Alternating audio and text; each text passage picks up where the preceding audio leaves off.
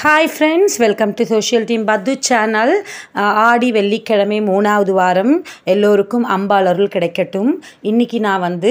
வெள்ளிக்கிழமை விரத கதையை தான் நான் சொல்ல போகிறேன் இன்றைக்கி நான் வந்து எப்படி லக்ஷ்மிக்கு வந்து பூஜை பண்ணேன் வெள்ளிக்கிழமை விரத கதையை சொன்னேன் அப்படிங்கிறது தான் இன்றைக்கி நான் உங்களுக்கு சொல்ல போகிறேன் இந்த கதை வந்து ரொம்ப ரொம்ப ரொம்ப வந்து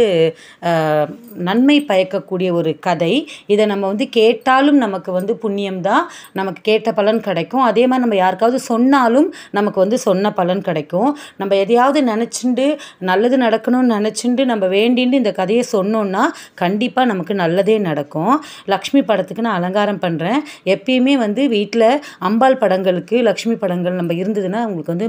திருமங்கல்ய சரடு நம்ம சாத்தணும் அதுக்கப்புறம் புஷ்பம்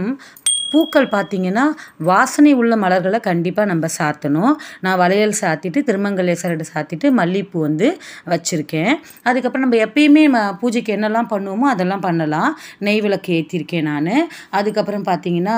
ரெண்டு திரி பஞ்சு திரி போடுங்க ரெட்டையாக ஏற்றுங்க ஒத்தையாக ஏற்றாதீங்க அதுக்கப்புறம் லக்ஷ்மி விளக்கு நான் எப்பயுமே இதை ஏற்றுவேன் அதை வச்சுருக்கேன் உப்பு தீபம் இது வந்து வழக்கமாக நம்ம எல்லாருமே பண்ணுறது தான் இதையே நானும் வந்து ஏற்றி வச்சுட்டேன் இது எல்லாமே நம்ம நம்ம வந்து ஒரு வெள்ளிக்கிழமையில் என்ன பூஜை பண்ணுவோமோ அத்தனையும் நம்ம பண்ணலாம் வெத்தலை பாக்கு பழம் இது எல்லாமே இது பார்த்திங்கன்னா உங்களுக்கு குலதெய்வத்துக்காக நம்ம வந்து எந்த பூஜை பண்ணாலும் குலதெய்வ வழிபாடு முக்கியம் ஒரு சொம்பில் தண்ணி விட்டு பச்சை கற்பூரம் ஏலக்காய் லவங்கம் பூ இதை போட்டு வச்சிடணும் இது வந்து குலதெய்வத்துக்காகவே நம்ம வந்து பண்ணுறது அவங்க அருள் எப்பயும் நம்ம கூடயே இருக்கணும்னு சொல்லிட்டு அதுக்கப்புறம் நைவேத்தியம் பால் வச்சுருக்கேன் அதுக்கப்புறம் தீர்த்தம் இது எல்லாம் வச்சுட்டு நான் கொண்டு வந்த ஒரு விஷயம் என்ன அப்படின்னு பார்த்தீங்கன்னா நூற்றி எட்டு ஒரு இந்த தீர்த்தத்துலேயும் நீங்கள் பச்சை கற்பூரெலாம் போடுங்க நூற்றி எட்டு ஒரு ரூபா காயினை நான் சேர்த்து வச்சுருந்தேன் அது வந்து உடனேலாம் சேர்க்க முடியலைங்க கொஞ்சம் கொஞ்சமாக கொஞ்சம் கொஞ்சமாக இதை வச்சு தான் இன்றைக்கி நான் வந்து வெள்ளிக்கிழமை விரத கதையை சொல்ல போகிறேன் புஷ்பம் தூவி வச்சுட்டேன் அக்ஷதை ரெடி பண்ணி வச்சுட்டேன் கற்பூரம் ஊதுபத்தி எல்லாமே ரெடி பண்ணி வச்சுட்டு நம்ம முதல்ல விளக்கை ஏற்றிடலாம் லக்ஷ்மி விளக்கு ஏற்றிட்டு உப்பு விளக்கு ஏற்றிட்டு என்ன எத்தனை விளக்கு நீங்கள் வேணாலும் ஒன்றுக்கு மேலே எத்தனை விளக்கு வேணாலும் ஏற்றலாம் ஏற்றி முடிச்சிட்ட பிறகு நம்ம வந்து குங்கும அர்ச்சனை பண்ணிவிட்டு அதுக்கப்புறம் நம்ம வந்து அந்த நூற்றி எட்டு ரூபா காயினில் அர்ச்சனை பண்ணலாம் இப்போ நான் குங்கும அர்ச்சனைலேருந்து ஆரம்பிக்கிறேன் இந்த கதையை தான் நான் இப்போ சொல்ல போகிறேன் இந்த கதையை கேளுங்க அம்பாளருள் உங்களுக்கு கண்டிப்பாக கிடைக்கும் முழுக்க இந்த கதையை கேளுங்கள் பாலாதேவி நமஸ்காரம் லலிதாதேவி நமஸ்காரம் லக்ஷ்மி தேவி நமஸ்காரம் சரஸ்வதி தேவி நமஸ்காரம் சாயாதேவி நமஸ்காரம் பார்வதி தேவி நமஸ்காரம் சர்வாபியோ தேவதாபியோ நமஸ்காரான் சமர்ப்பயாமி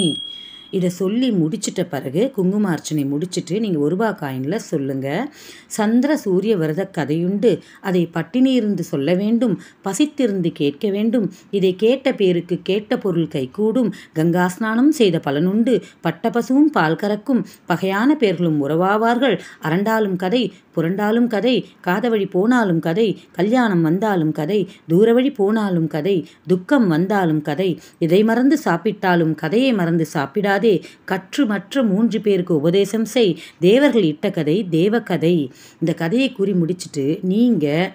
தீபாராதனை காமிங்க அந்த ஒரு ரூபா காயினை அப்படியே இன்னொரு பவுலில் மாற்றி அதை அப்படியே பத்திரமா எடுத்து வச்சு அம்பாள் அருளை வேண்டி நின்றீங்கன்னா கண்டிப்பாக உங்களுக்கு அருள் கிடைக்கும்